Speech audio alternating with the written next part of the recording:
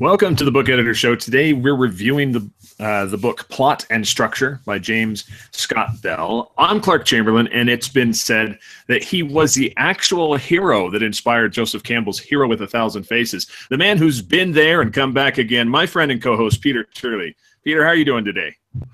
Um, uh, that that was quite underwhelming because I was actually um, all thousand faces of the hero. So well, yeah, you know, I mean that, that I knew that he had to split it up you know, to be a thousand faces because it was just too much to pin on one man. But uh... no, I'm I'm really excited about today's show. Um, this is, I think this is our first s- solid book review. I think is it? It is. I mean, we um, did uh, we did look at the seven basic plots last summer um, for uh, for Chris Boker's book, Booker's book. anyway, we should, know, book, know after so, seven shows. No, after seven shows, we should have that down pretty pat. But yeah, this is going to be the the first of what we hope will be many book reviews that should really help um, help you figure out what books you should have on your shelf, and which ones are really going to help you uh, move your writing forward. Yeah, this is this is an awesome book, and we chose this one first um, because just because it was so useful, wasn't it? I mean, I think um, we both already had copies of this and had read it back to front several times, so it was it was a given that we had to start with this. yeah, this is a pretty easy one to to grab onto, and and I think this is a fantastic book if you're. I mean, certainly if you're starting writing, but if you already have a manuscript that's finished, you know, being able to go in and see it has great uh, helps on how to make your manuscript stronger, you know, to find out what's not working and to give you some other good ideas on how to just overall tighten up your book. Yeah, that's that's a good point. That obviously it is. Um, I, guess essentially it's a writing book, but it, it's well, it's a writing reference, and it is so useful for editing. You know, you can go back, and especially when editing is, you know, you you, you could be cutting so much stuff. It really helps you pinpoint uh, narrow down on what exactly you want to be cutting. Um, yeah. Obviously, that's not that's not the only, but we'll, we'll, get to that later on in the show. But that's that was a, a, great one, I think, going back and editing and thinking, you know, what's what's this scene doing? What you know, and learning to break the scene down into its its moving parts and really understand what each of those moving parts did. Yeah, exactly. And um, I just, uh, I just really enjoy this. I mean, like when you, when you just start reading about it, and I love his story um, because I think that there are a lot of people out there who are hesitant about writing um, because of this. You know, this there's this lie. That's what he calls it, the big lie about um, you have to know how. You know, you have to be born a writer. It's not something that can be taught. Like that's the big lie. And I love that. You know, he he explained that. You know hearing that over and over in his life and then finally coming to an understanding of how to do this well and how to write well and how to put together story well and what that was and overcoming that and showing that that really isn't the case for uh, for the majority of people yeah that's so true and I, I think especially perhaps to amend it a little that you know it's almost not that it can't be taught but that that it's inherent in us anyway. You know, we that we do fundamentally understand what what makes a story or what contributes a story. Um, you know, we sitting around fires for thousands of years, sort of telling stories or painting on walls, and you know, probably like understanding the three act structure without even realizing that we understood it. I mean, say you're in like um, in a, a, bar with friends and someone starts to tell you about something that happened to them that day you can you can almost see like the bits that they embellish and make a little more dramatic and you know and then this happened and then there's a confrontation. And it's really interesting to know that it is kind of in us all um, but yeah it's sort of like can it be taught or can it can that just kind of be like unearthed that like natural ability? Well, and certainly, you know, like natural ability is there, you know, and it can be stronger with one person because, you know, you've got it. Oh, you should have so and so should tell you the story because they tell the story better. And it's because they know how to punch those moments up and how to add the conflict and how to add the tension to it and bring all of this to bear on the story, which I just think he does such a good job of that in this book. And um, do you want to go ahead and we'll just start in with the rest of it? yeah, yeah sure. Without further ado. Without further ado. So, um, to start off, uh, I, I want to talk about one other idea he had, and and this is so true with any of our writing, and the idea that we really want to immerse someone into our into our story you know that if someone's going to take the time to read your book and they need to have that immersive feeling almost as if um, they called it the fictive dream. So they, this idea that you're going to be in this dreamlike state during this time because when we dream it feels real like but we're we're there you know? And so that's what you want to have is that feeling at the end of a book that you've been there and you've experienced these things that everyone else in the book has experienced. Because if you don't you know if you come to the end of the book and you close it and you're just like why did i bother reading that? I didn't you know it had some good information in it or kind of had a couple funny parts but that was it if they don't have that full immersion like you're going to miss things. And the this book is going to help you be able to create that full immersion process. Yeah sorry i was i was sort of like ready to laugh halfway through because i remember just offer like we had a, a, conversation about whether fictive was a was a real word a real, yeah i know. So fictive is someone's real word. It's in the book. Yeah i'm looking at it. It's definitely um it's definitely fictive. But um no, and, and even in dreaming, you know, we follow the the same the same conflicts. You know, that we always dream about conflict. They, they still have these these elements, um, but also I think that that immersion is is the key, and sort of having all these elements at play that allow the reader to immerse themselves in a story um, and suspend that disbelief, kind of like you do when you're in a dream, where you you don't realize straight away, if ever, that that it was actually a dream. You know, there's it's the rare occasion where you kind of realize that you're you're actually dreaming and you you you don't really want the reader to be aware that they're reading a book sort of you know especially when they're in the you know the, the climaxes and the throes of the story. Right yeah it's a suspend the disbelief and keep them there and keep them occupied. Um, he has a system that he developed and he calls it the lock system l-o-c-k and each one of these is a letter that stands for something yeah, that's right. Um, and and this this is one of the great tools within this book um, that can be used, even if you're not used to to outlining um, plot or structure or anything like that. This can, if you wanted to sort of give it a have a have a start at outlining and you know sort of dip your toes in, into it, then I think this would be the place to start. Um, so lock, it's a, it's acronym uh, L standing for lead. Um, and it's it's mainly that your your lead needs to be strong. Um, they need to be powerful. They, need to be a well thought out character, um, and which, which we all know. But you know that's it's the most important, basically, in regard to uh, plotting and structuring your novel. Um, which then moves us into the second one, um, if you want to talk a little bit about um, objective. Uh, uh, yeah so the objective you know is the desire that the the character is going to have to accomplish throughout the story. And we have to have that desire we have to have that reason you know.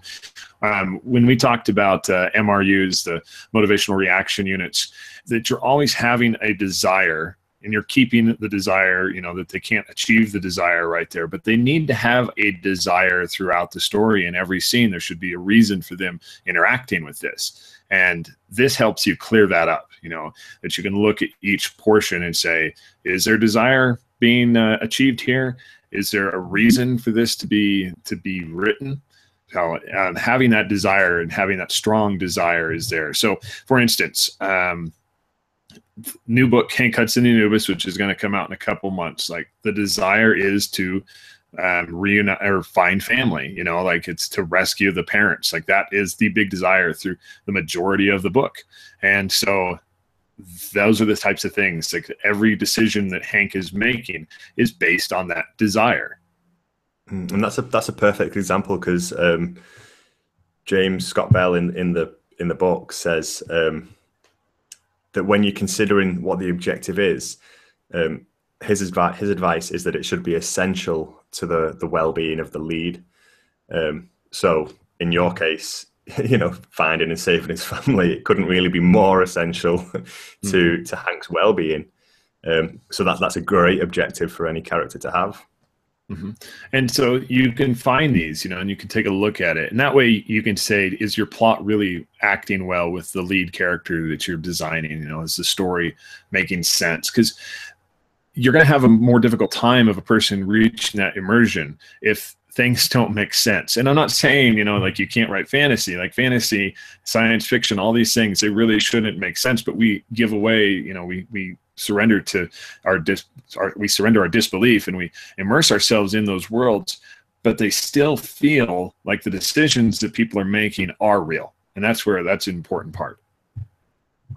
Yeah, that, and, and that brings us back to the fictive dream. You know, it's that, that almost even in this fantasy world, it still resembles a world the reader knows just just the right amount for it for it to make sense within that realm. Mm-hmm. So, um, which will take us uh, to the to the C, which is uh, confrontation. Do you want to take that one? Um, yeah. So, um, confrontation. So, um, which I, am kind of glad, of, you know, because you, you kind of get sick of hearing the word conflict, which is like thrown around everywhere. But essentially, it kind of means the same thing. Conf- confrontation leads to conflict or the form of conflict. Um, it's basically the opposition that the lead will face um, on the path towards their objective. Um, and it's the confrontation, uh, James says, that brings the story to life. Um, so it's, it's, that old saying of um, that the a lead, a main character, is only as strong as his opposition. Um, so the the stronger the confrontation, the the stronger the lead is going to have to grow to become to obtain the objective, and the sweeter that objective is going to be um, upon attaining, which will then lead us to the last part of the lock system, which is the knockout. Just a big yeah knockout right there, you know, because I love how he describes it. You know that if you go to a boxing match, you want to see someone get knocked out you know, I mean, certainly the the match can end in a technical knockout where a decision is made by the judges on who scored the most points. But honestly, people want to see the knockout. Yeah, and especially if you've paid. right. Yeah, especially if you paid to go and sit down and watch the fight.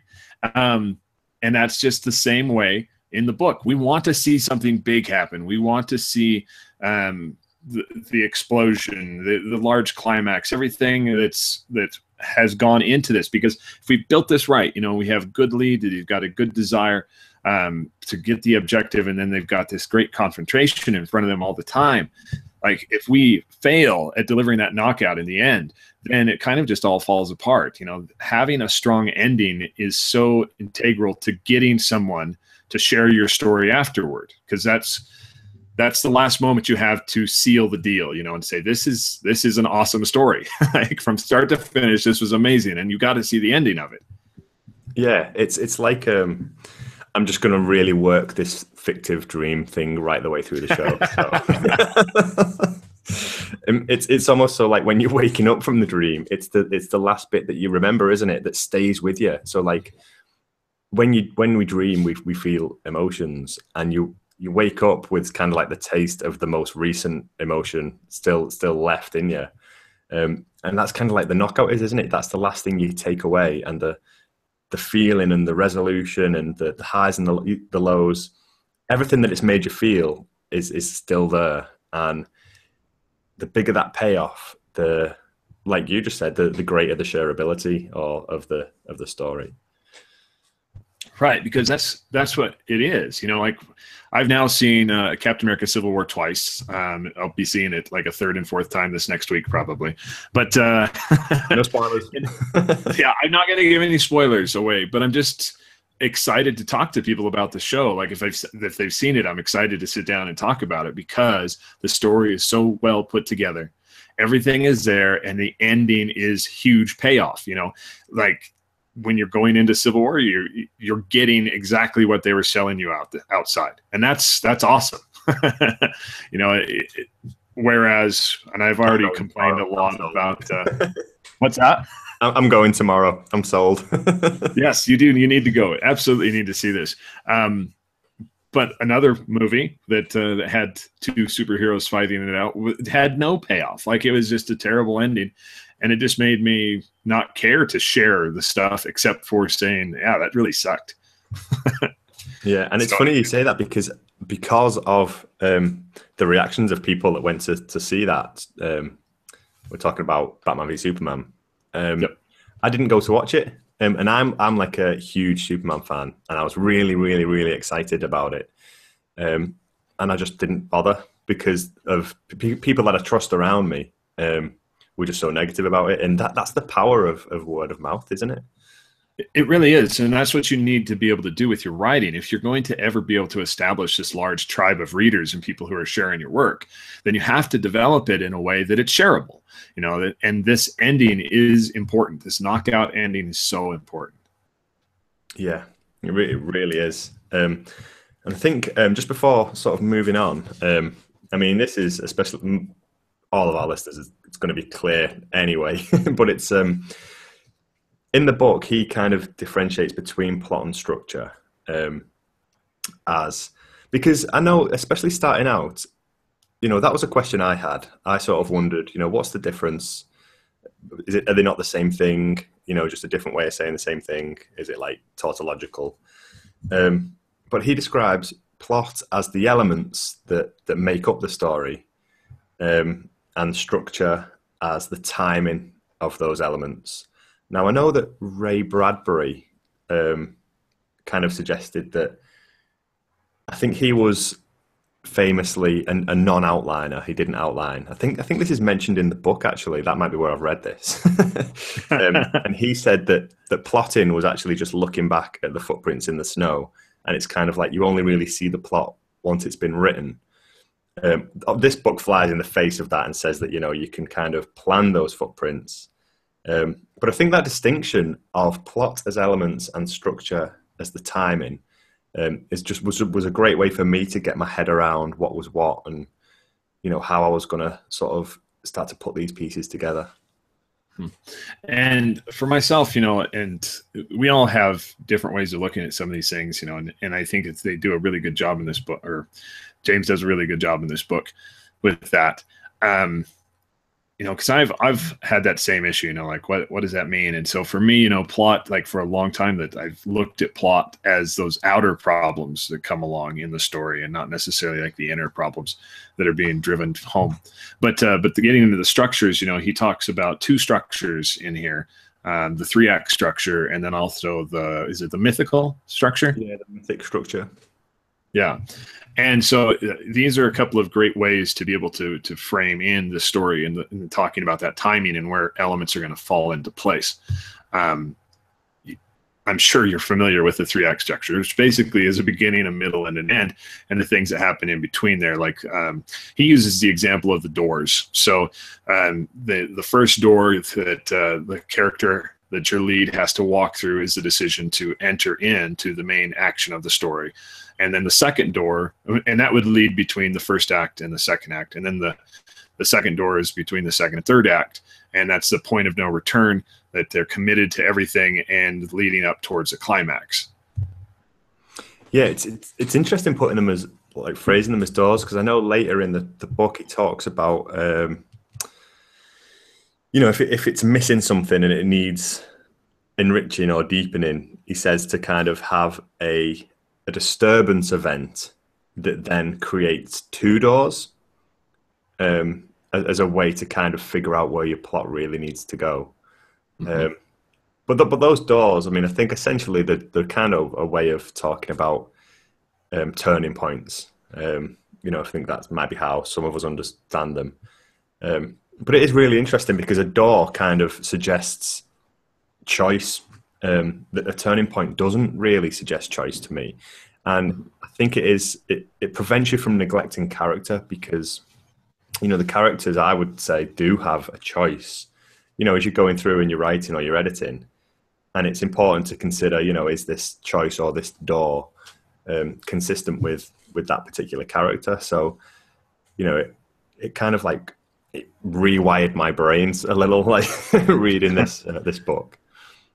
Well, yeah, because you know you you do you want to have choice every step of the way. You know, from the beginning to the end, that it needs to be the lead character making the choice to continue on with the story.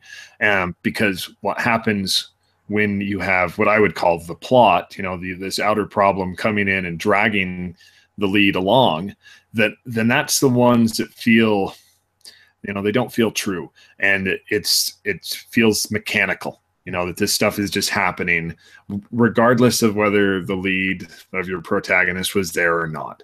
And if you have them faced with choices all along the way that they can choose to stay or go. And we can take a look at uh, Star Wars with Luke Skywalker. Spoiler alert: and, and Uncle die. I don't know if you knew that. Oh my god. That's my so, I, I'm sorry, I know. if a movie is uh, from the 70s, I think you should have had time to take. It. But anyway, um, so he makes a decision. Hey, I'm going to stay at home and I'm not going with you, Ben, because Uncle, uh, I can't even think of what his name is. Lars. Anyway, Aunt, yeah, Lars is the last name. Aunt Beru and Uncle Owen. Oh, so yeah. Uncle Owen, I'm gonna go home and help Uncle Owen on the moisture farm. And Ben's like, all right, that's fine. And then we come back to the the place. They're gonna drop Luke off, and Aunt and Uncle are dead. And so now we've got another choice to make and he makes a choice hey i want to pursue this i want to learn about the ways of the force i want to understand who my father was all of this i want to follow you ben and that's that was the choice to move in because he could have still said you know what oh my goodness they're dead now i've got to take care of the farm i've got to find out how this happened and and all of this that's a choice that he could have made and so that's what you want to be able to do is, is set up choices for your character i want to see that film yeah, you should see it. Like, I don't know if you've heard of Star Wars. Um, so oh, no, I mean, I, I want to see the one where he stays on the farm. oh, where he stays on the farm. Yes, yeah, that would be a good story. You know, we could do a fan fiction. Yep, Farmer Luke. Where Farmer Luke, where Ben takes off on his own. Farmer Luke stays back behind, handles the business, creates a creates a farming empire there on Tatooine. So. But I think all um, along the way, uh, Sorry, go uh, all along the way of your story, though, you want to be presenting choices. Now, clearly, when the reader gets to the end and looks backward, there's only one choice that could have been made all along. You know, like each of those choices made sense, and that's the only choice that could have been made. But you still want to give the feeling of choice. Yeah, that's the and and and like you know we don't mean that bit to sound easy because i think that's the that's the difficult bit isn't it to sort of where the the upcoming door or turning point is we don't see it so it's a surprise when it happens but then once you it's been traveled through it seems completely inevitable you're like oh of, of course that was the way it was going to turn out and and getting that element of surprise is the is the real tricky bit but you know we'll get there. yeah, we'll absolutely get there. So, um, were there any other of the structural elements that you wanted to cover? Um, I think maybe to just touch quickly on um, the action reaction setup and deepening. Oh yeah, yeah. Um, so the uh, he calls this the four chords of a scene, and I think this is pretty cool. Yeah, that was just. Um, I mean, it, essentially, I think if you take anything, take the lock system, and you know, you use that and apply it to something you've written or something you're gonna write. Um, but this is just another way to look at, at scenes or the story as a whole. Um, and that is the first one is is action. Um, so that's something that happens or it's an event. And then reaction is simply how that's made the character or characters feel um, about the event. So it's kind of like, and it helps. It helps particularly in the writing process as kind of kind of like um, beats and ways to know what should logically come next. So after an action, there's going to be um, a reaction to that. And then the the second two portions of these chords, and we've talked about um, action and reaction before, and um, with the motivational reaction units, the MRUs, and I think that is pretty, you know, that we're talking the same thing in both of those yeah. the, the, book and then this and that's really things that you should uh, definitely put into your toolbox because it's fantastic to be able to use those Um, the second one, uh, or the second two chords, are the setup and the deepening. And so the setup, you know, like there are things that you're going to have to do to set up the reader to be aware of or to be prepared for what's coming next. You know, if you've got a, a world where you need to explain a magic system, you know, there has to be a setup so that you can see this taking place and happening. And how do you do that without it being this ex, um, exposition that's just super boring, you know, and it's just someone you're just explaining all this stuff as the narrator. And some of the ways that you know that he suggests to handle this is that when this is happening, that you add in a problem into the scene. Like you could be talking about the magic system, you know, with the the the, the teacher and the student, but then there could be an argument that's taking place in between this you know that, that, something else is going on you know that that's adding more tension to that moment so that you have this great scene where you're setting up things to make sense later or preparing for a later scene that's going to occur. But this is still interesting. Yeah. And, and that's almost like um like a, a sleight of hand kind of art of distraction isn't it? Where there's they're actually giving some kind of exposition, but there's a scene taking place as well, and you almost miss the fact that something is being set up, and then that's it makes it seem inevitable later down the line. Yeah, exactly. And then uh, the second one, I'm a big um, fan of deepening, and this idea, you know, that you're you're deepening the characters, you're adding in what he calls flavor and spice um, to the characters' lives, but that there should be moments where you're where you're taking a moment to really deepen the meaning of the character, what the character likes, who the character is, and not just necessarily the protagonist, but it could be secondary characters. It could even, if you're having point of view from the antagonist, all these moments where you can make them be more alive, where that you can engage the reader more with an emotional impact, um, like for instance you know that the, it's something that the the character is going through that maybe the reader might go through and you can target that well. And actually um, we have the download on our website right now that you can click on that talks about um, being able to engage this the, emotionally with your reader. And these are some important elements of that is that you've got to take the time to deepen the character in order to do this. It, it doesn't happen in the fight scene. It doesn't happen in the getaway. It doesn't happen in the argument. It is happens in a in a lull, in a moment that can you can take a step back and kind of take a breath.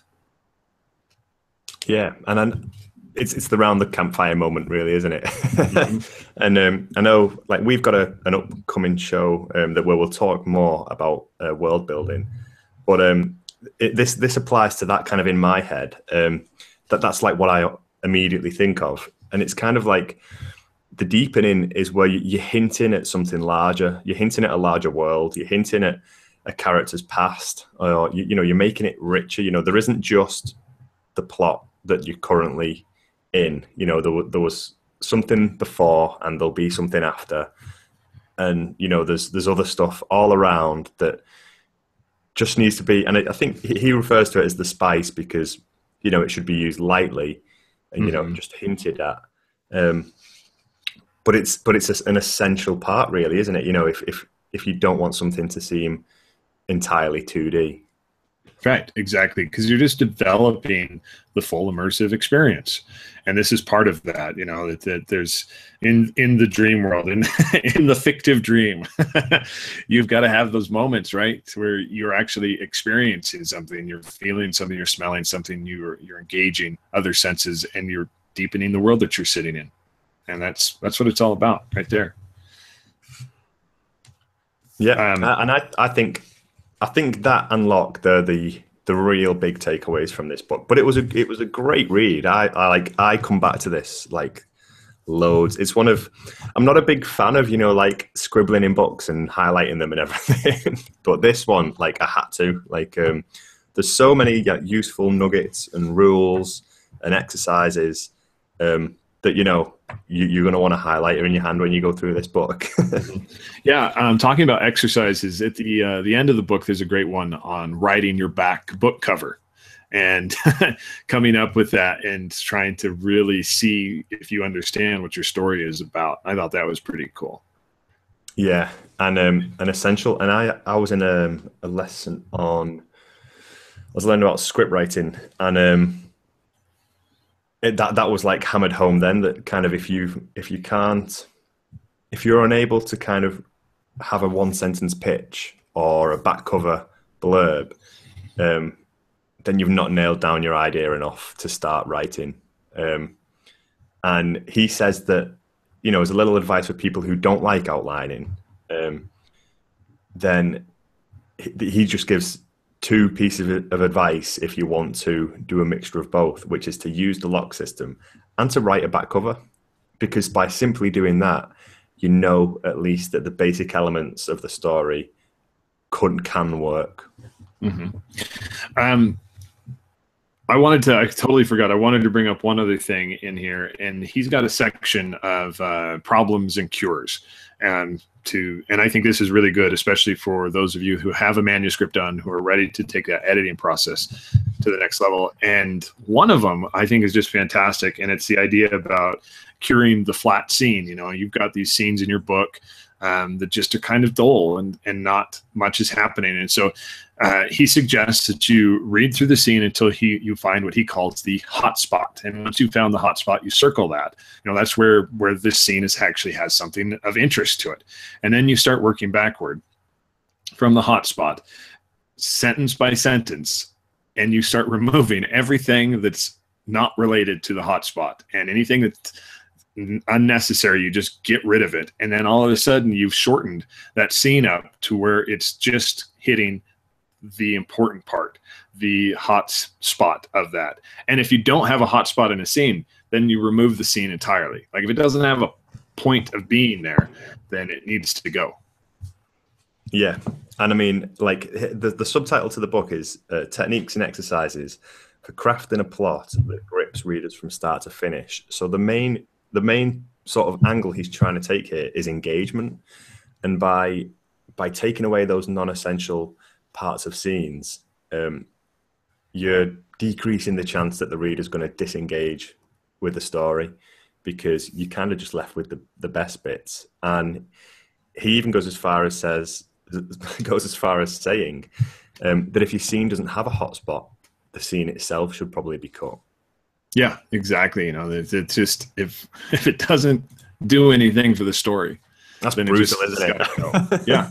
Well, and it is, and it hurts, right? You know, but um, this this has to happen, and also I would say that this is the reason why you should have an editor working with you because you're close to it, and you say, "Well, I know that it doesn't really have a hot spot, but it's important because of this."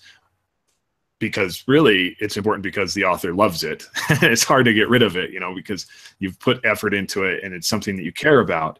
But really, if you can have another set of eyes that says, you know what, it, your story will be stronger if you remove this entirely. Like it's it's it's slowing down the plot. It's it's taking it's that plot hole, you know, that's bumping the person back out of the uh, dreamlike state that you've created. Sorry, the the fictive dream with which you've created.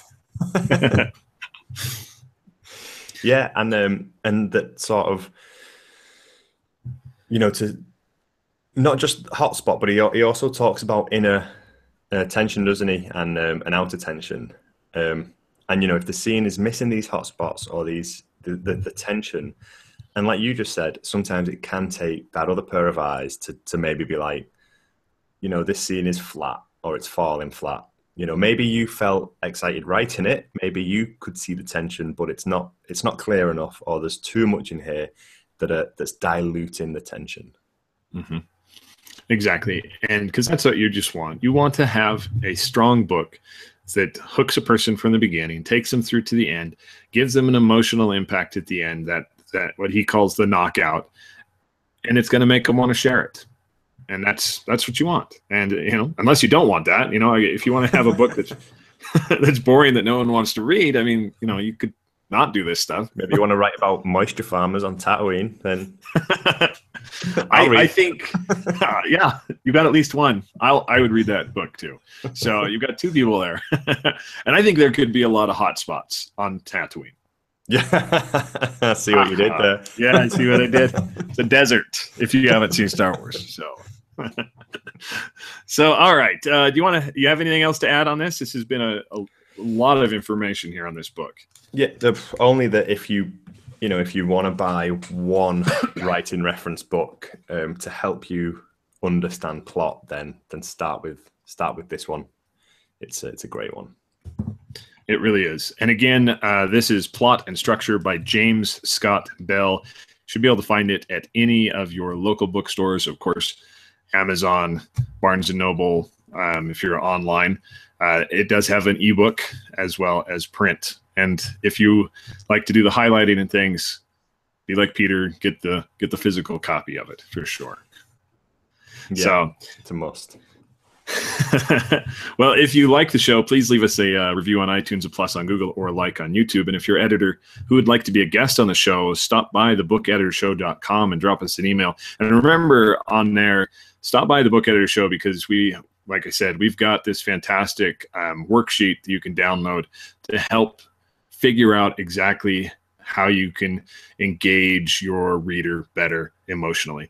And uh, that's absolutely free. You just come on there and it's right on the front page. You can click and download that. So um, I'm Clark Chamberlain, and for my co host, Peter Turley, keep writing, keep learning, and build a better book.